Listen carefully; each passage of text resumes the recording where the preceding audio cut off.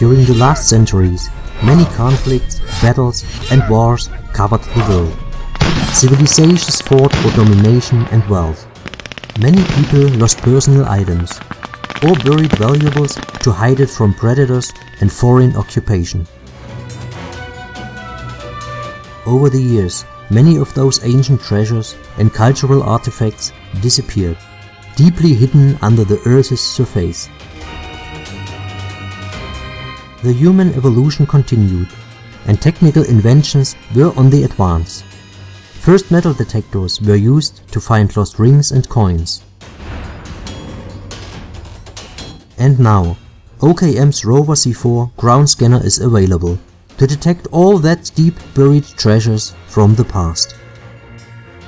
Controlled by an interactive color touchscreen, it shows hidden treasures live via LED orbit and generates stunning 3D graphics of hidden objects.